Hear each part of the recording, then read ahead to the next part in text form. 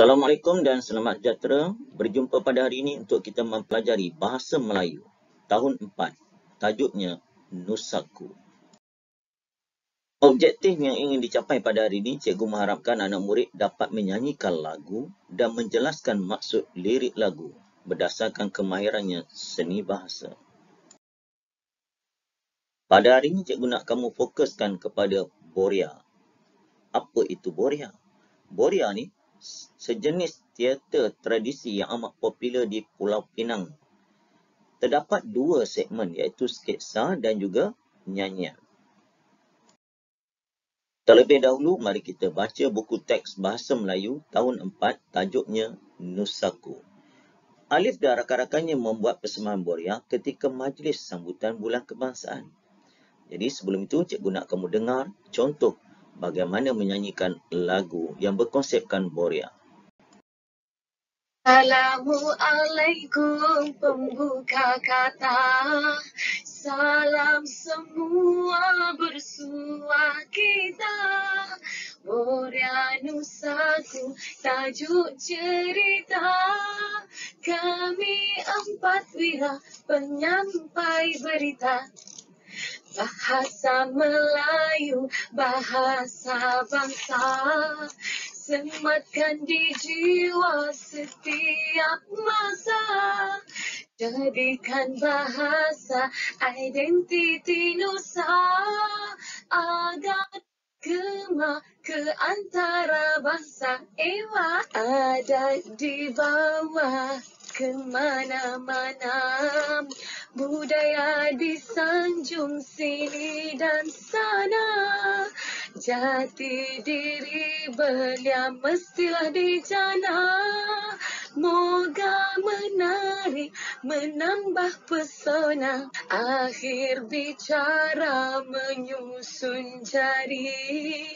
Inilah kisah kami berperi Ampun dan maaf harap diberi Sekian sahaja kami undur diri Cikgu harap anak murid telah pun bersedia untuk perbincangan jawapan pada hari ini. Mari kita bincang jawapan untuk rangkap kedua. Sebab rangkap pertama telah pun dia bagi contoh jawapan. Bahasa Melayu bahasa, bahasa bangsa sematkan di jiwa setiap masa. Jadikan bahasa identiti nusa agar bergema ke antara bangsa. Apa maksud dia? Ha, bahasa Melayu merupakan bahasa kebangsaan. Kita perlu menggunakannya. Bahasa Melayu merupakan identiti kita yang perlu dibanggakan ke peringkat antarabangsa. Untuk pengetahuan kamu, satu ketika dulu masa zaman kegirmangan Melayu Melaka, bahasa Melayu ni antara bahasa utama di dunia. Ha, jadi kita kena berbangga menggunakan bahasa Melayu iaitu bahasa kebangsaan kita. Rangkap ketiga. Adat dibawa ke mana-mana. Budaya disanjung sini dan sana. Jati diri belia mestilah dijana. Moga menarik menambah pesona. Apa maksud dia? Ha, kita juga perlu mengamalkan adat resam negara budaya kita perlu disanjung di mana juga kita berada.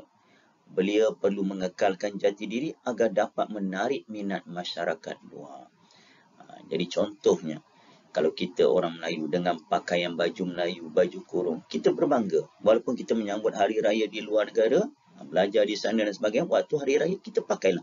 Supaya ha, masyarakat di luar sana ingin mengetahui dengan lebih lanjut dan akhir mencuba ambil contoh negara Jepun dengan pakaian yang kimononya. Satu dunia boleh tahu. Jadi kita berbangga. Bukan masyarakat kita ni generasi sekarang cuba tengok ah, hari raya hari pertama dah nak pakai seluar jeans dan sebagainya. Pertahankan budaya kita. Rangkap keempat dan rangkap yang terakhir. Akhir bicara menyusun jari. Inilah kisah kami berperi. Ampun dan maaf harap diberi. Sekian saja kami undur diri cantik ujung dia ai ai ai bunyi dia Boria ni. Alif dan rakan-rakannya memohon maaf ketika menyampaikan pesanan melalui nyanyian Boria. Sambil kita mendengar nyanyian, ada unsur yang terselit dalam Boria ni. Ya. Ha, jadi dia mereka meminta maaf andai kata ada tutur bicara yang menyakitkan hati dan sebagainya. Akhir kata dari cikgu, ha, kalau kita pergi ke Pulau Pinang, Pulau Pinang ni banyak yang terkenal. Selain daripada Boria, terkenal juga dengan laksa, dengan nasi kandar, dengan tempat kekelahan dan sebagainya. Jadi, Boria ni, kalau nak tahu dia punya pakaian, semua sama. Kalau ada 10 orang ahli kumpulan, semua sama. Itu identiti Boria. Okay, kita jumpa lagi dalam tajuk yang seterusnya. Assalamualaikum, selamat sejahtera baik. Selamat menyiapkan tugasan yang diberi oleh guru.